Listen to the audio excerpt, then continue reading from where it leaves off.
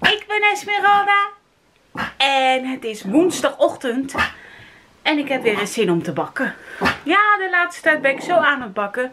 Let niet op Milootje. Die zit lekker er doorheen te grommen en te blaffen en te doen. Want die wil graag spelen, heb ik het idee. Wat is er nou, Mil? Wil je even spelen? Ja? Wil je even spelen? Zullen we dat even doen? Kom eens hier. 1, 2, 3. Ja, daar komt Milo. Milo. Wat ben je nou aan het blaffen?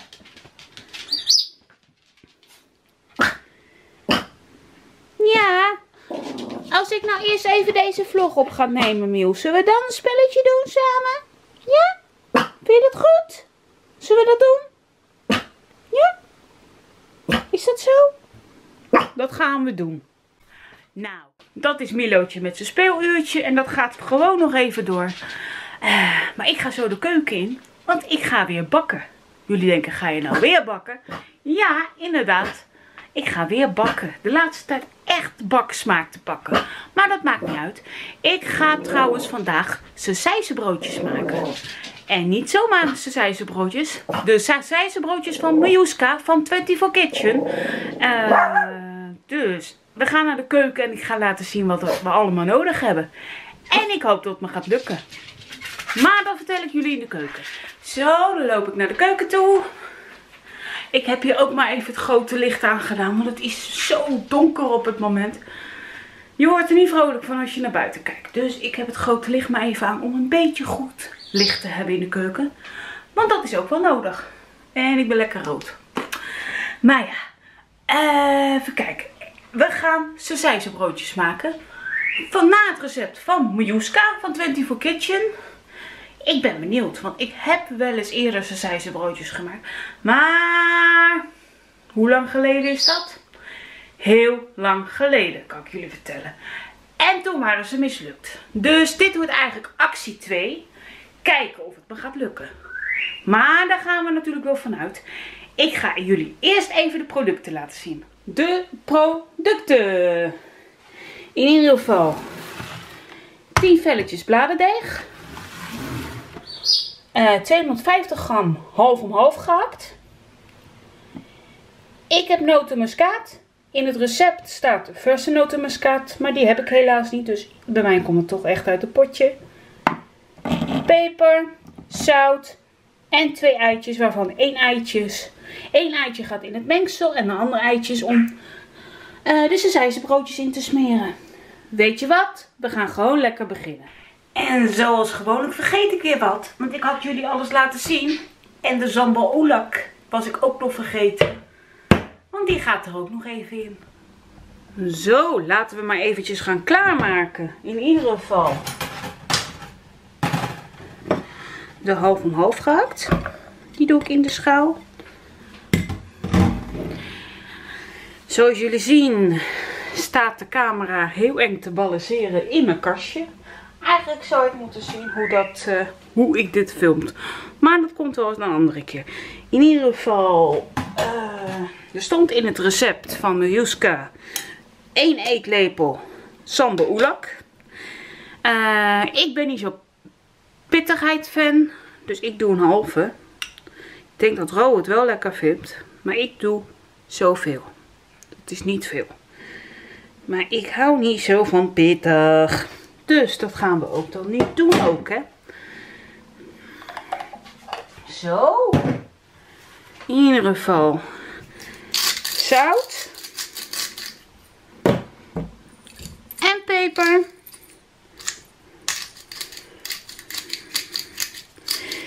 En Mijuska had het erover. Eventjes beetje verdelen. Een beetje lekker veel peper. Dat vind ik dan wel weer lekker. Uh, waar had Miuska het ook weer over? Ja. Oh ja, terugkomen waar ik mee bezig was. Uh, de notenmuskaat. Kijk. Ik doe gewoon uit het potje. Uh, zij doet vers. En het is ook gewoon lekkerder om het vers te doen. Dat is gewoon een bewijs. Maar ja, helaas geen verse notenmuskaat in huis. Dus ik doe zoveel notenmuskaat erin. Van de poeder dan. Die gaat er ook doorheen. Zo, en dan pakken we het eitje. En dit gaan we lekker door elkaar heen klutsen.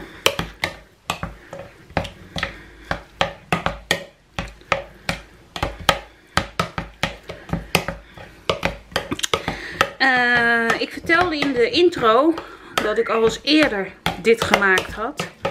Nou, mijn fout was toen uh, om rundegehakt te gebruiken. Want ja, ik dacht, niet zo vet. Dat is altijd goed. Maar voor een sausijzenbroodje is het toch altijd beter om half om half gehakt te gebruiken. Want een beetje vet is toch wel lekker.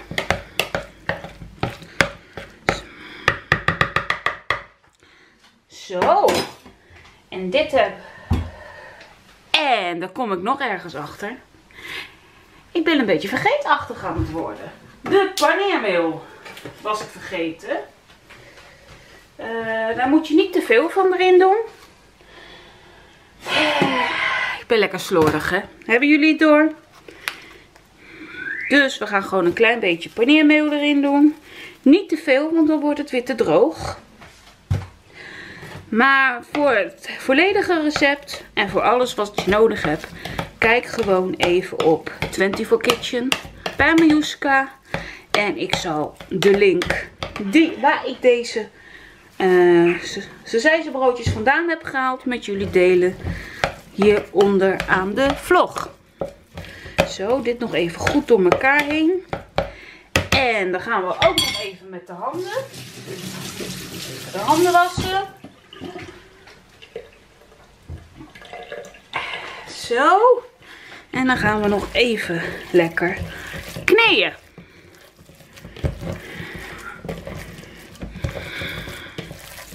Het is lekker smeuig, kan ik jullie vertellen. Maar dat maakt het ook een feestje, hè. Lekker smeuig. eigenlijk kan je dit soort recepten op heel veel andere manieren maken. Zo. Lekkere bal. Zo. Even de handjes wassen. En dan ben ik zo bij jullie terug. Zo, dan gaan we eventjes worstjes maken. Dus je pakt grakmengsel. Die ga je rollen. Totdat je een worstje krijgt.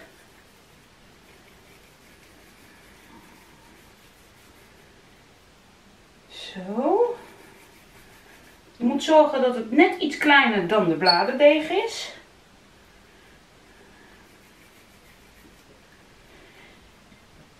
Weet je wat? Ik ga jullie er even bij pakken. Kijk, zo groot worden die worstjes. Dus, daar ga ik er een paar van rollen.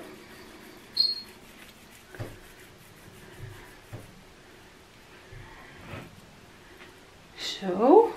En probeer ze even groot te krijgen.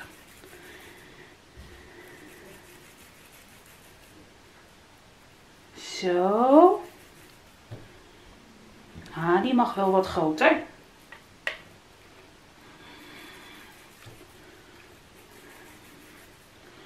Zo.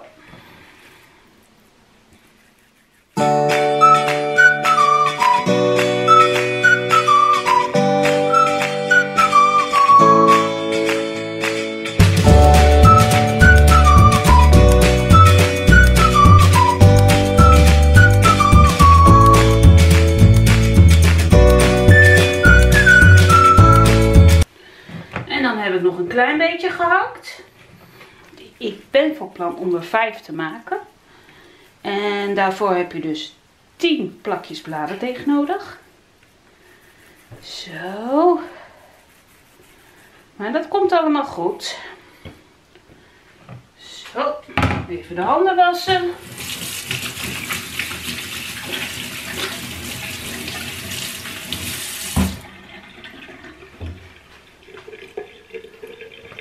Zo. En deze worstjes gaan nu even een half uurtje de koelkast in. Uh, voor een beetje op te stijven. En Miljuska had gezegd in de vlog trouwens. Uh, als je dat doet, dan blijft het wat steviger in de broodjes. Dus ik ga dat ook doen. Dus ik zou zeggen tot later. Nou, het wekkertje is gegaan. Hier zijn de worstjes weer. En dan gaan we de broodjes maken. Alles klaargezet. Begin met het bakje. Want ik ga eerst even de eieren. Eén eitje. Even losklotsen. Klutsen. Klopsen. Klutsen. Zo noemen ze het. Zo. Want daar gaan we straks de bladerdeeg mee insmeren. Zo. Dan pak ik eerst de eerste bladerdeegje. Vergeet het plasticje er niet af te halen. Die zit er meestal ook even op. Zo. En dan pak, pakken we niet. Zie je wat, eh, wat ik doe? Ik wil gelijk het worstje gaan pakken. Maar dat gaan we niet doen. Want we gaan eerst deze een beetje insmeren met het eigeel. Zo. Even een beetje dichterbij er.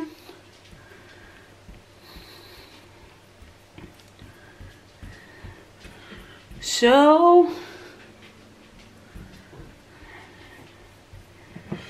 En dan ga ik nu het wasje pakken.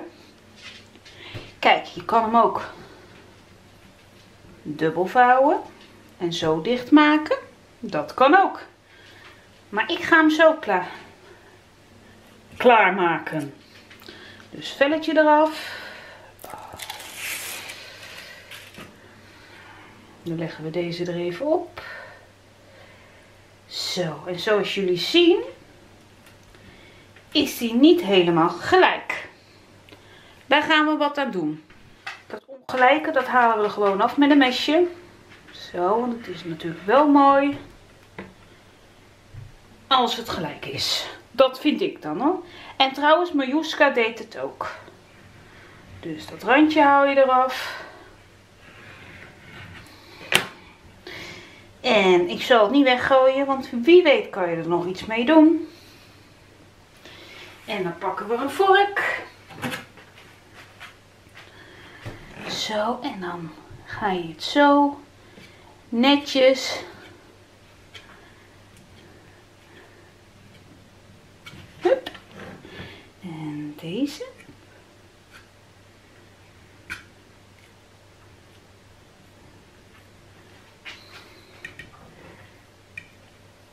En als tip.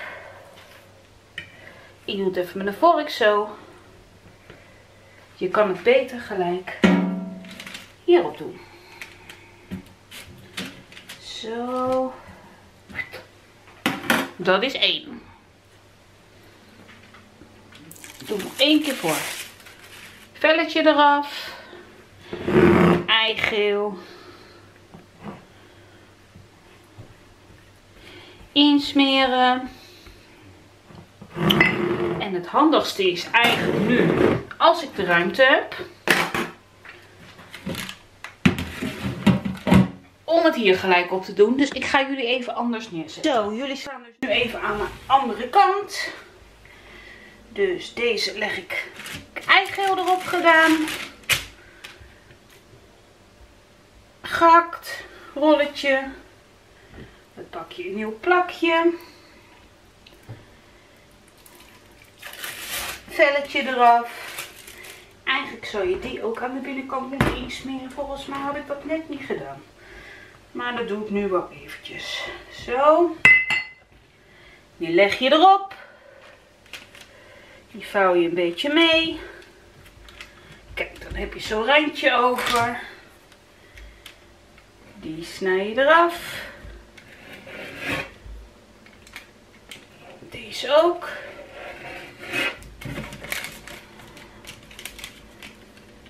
Huppakee.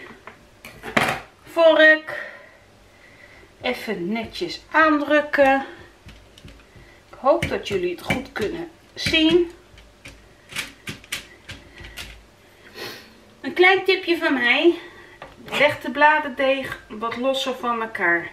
Want zoals jullie misschien nu merken, is het bij mij nog een beetje aan de harde kant.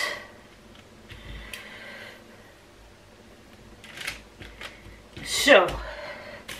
Gat komt er een beetje uit. Kijk. Dat zijn er al twee. Ik ga ze even allemaal klaarmaken. En dan eh, gaat de ei er nog even op. En dan ben ik weer bij jullie terug. Zo, de broodjes zijn klaar. Een klein beetje vormen. Ondertussen staat de oven voor te verwarmen. Uh, in het recept stond hij op 190 graden. Ik doe 180, want ja, hete lucht. En ongeveer 10 à 15 minuten. Maar je moet het wel in de gaten houden. Dus dan gaan we het nog even insmeren met het eigeel. Lekker dik. Ik ben niet helemaal tevreden. Maar dat komt meer door uh, dat de bladerdeeg niet helemaal goed ontdooid was. Maar ja, eigen schuld had ik het maar uit elkaar moeten leggen. En dat weet je algemeen altijd, hè. Maar ja. Dat maakt niet uit. Dus even lekker alles insmeren. En ondertussen wacht ik op de oven dat die voorverwarmd is. En dan gaat dit straks lekker de oven in. Dus tot later. Zo, de oven is voorverwarmd. Die gaan erin.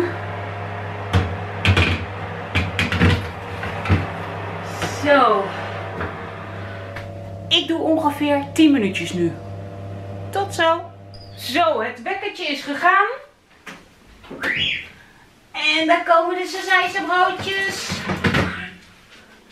Kijk. Dat ziet er lekker uit. Ze zijn wel super groot en ik ga hem even neerzetten. Want dat is heet. Nou, zeg maar gerust. Het zijn super sausijsjes. Ja, dus dit gaan we even laten afkoelen een beetje. En dan gaan we natuurlijk even proeven. Ben wel benieuwd. Zo, ik zit nu lekker in de kamer. Kijk. Mijn broodje even zo doen. Want ik heb hem even door de helft gesneden. En Roos zit de andere helft hier naast me op te eten. Dus dan gaan we even proeven, hè. Ik ben benieuwd. Broodje, hoe vond jij hem trouwens? Ja, lekker. Mm, kijk. Mm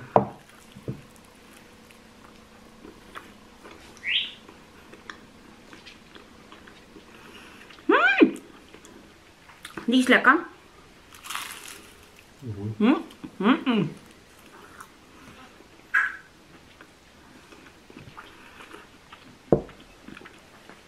Echt lekker. De volgende keer toch wat meer uh, sambal oelek erin doen. Want dat halve lepeltje is toch te weinig geweest. Maar ja, ik hou niet van pittig. En ik dacht, ik ga op safe. Nou. Oh ja, ik wil nog wat aan jullie vragen. Misschien hebben jullie al een berichtje voorbij zien komen op Kookeiland. Um, als deze vlog online komt, dan begint mijn drie wekende vakantie. Drie wekende. Dat, dit is weer goed Nederlands, maar niet. In ieder geval, drie weken ben ik vrij. En ik wil dan allemaal leuke recepten gaan uitproberen voor de vlog. En wie weet kan jij mij helpen. Vind jij dat een leuk idee? En heb jij een recept van, joh S, dat wil ik wel eens zien hoe jij dat maakt in je, vlogs.